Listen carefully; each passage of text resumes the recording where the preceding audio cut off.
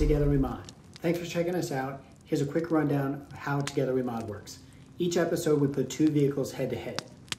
Show the two vehicles, list out their mods, and give a quick glimpse to try to cover as many of the details as we can about each build. We have a voting app available in the App Store, so look for details in the description area. After you log into the app, you'll have a chance to vote for the mods that you like the most. Then we tally up those votes and let you know how each vehicle did. You can think of this as an interactive vehicle showcase in the palm of your hand. The voting will run for about a week up until the next video is published. We release two episodes each week. Tuesdays we do street and tuner vehicles, Thursdays are all about trucks. Each video we let you know the results from the prior week's builds, so tune in next week to see how today's vehicles perform. We love when you tell us what you want to see, so find us on Instagram at TogetherWeMod and drop a comment. Let's take a quick look at how you voted in last week's episode.